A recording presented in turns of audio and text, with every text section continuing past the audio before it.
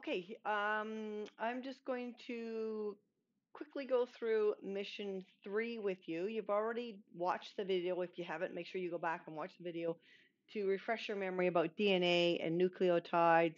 Some of you may be studying that right now. Um, if you didn't, if you if you're not studying it right now, it was a while ago uh, since you did it, and you need to refresh your memory because you want to be comfortable with DNA and nucleotides and the genetic code. So same format that we've done on all the other missions. You're going to watch this video. Really good. This is really good. This is probably one of my favorite. I love when it starts going into um, like DNA and the effect DNA has on uh, evolution and species uh, variation. So there's three interactives. I'm just going to go to one fish, two fish, red fish, lungfish, and show you that um, uh, phylogenetic tree that you're going to build. So the same format, you're going to write down these different fish um, aquatic species.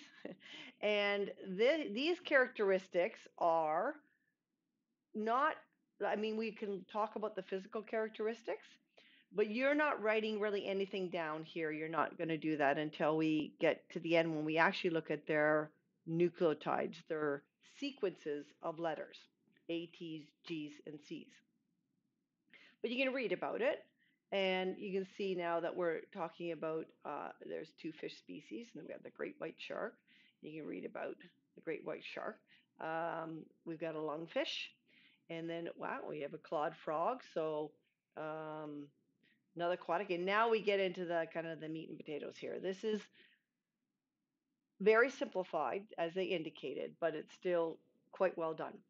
So they have our out group, which is the great white shark. Love when they do that because we know that one's going to be what they talked about in the instructions, the far right hand side, or you do it the far left hand side, doesn't matter. I just followed what they did. And we're looking at different positions in their genetic code, and we're looking, they talk about different positions, and these positions being um, in these organisms, they looked at position one and this area is position two, but there's no data for that. We have got a position three, we got a position four.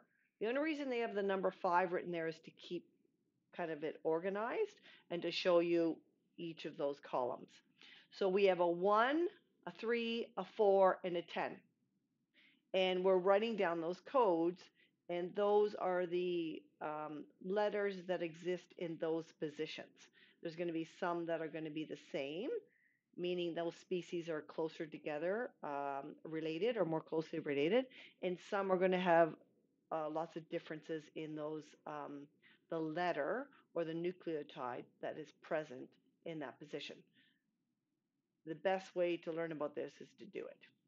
So I'm just going to do my little cheat table here. I also have it written down, and I'm going to start building this according to uh, the nucleotide position. So this is getting into DNA, looking at DNA, and determining similarities or um, relations uh, according to uh, genetics, a genetic code.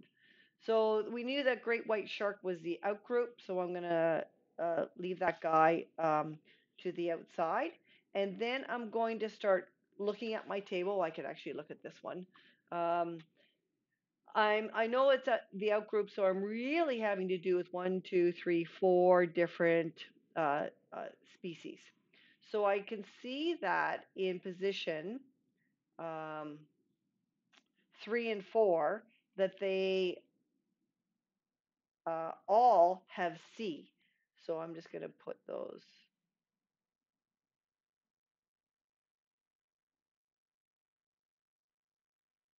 Ah, so there's my great white shark that is um, the outgroup. And then I have um, these other organisms that all have um, the letter C in position four. So I'm just, I know I kind of jump around on this, but if you look here at this table, they all, even our shark, has letter C in position two. So there must be letter C in position three. I did that wrong. It's position three. Okay, we have letter C in position three. So they all have letter C in position three. So I filled that in. So I have C um, position four, and then I have um, uh, It's going to come off of there, and so the cichlid is going to fit there, I believe. So what's the connection between the frog and the lungfish and this guy? So they have, we're now moving to um, position 10.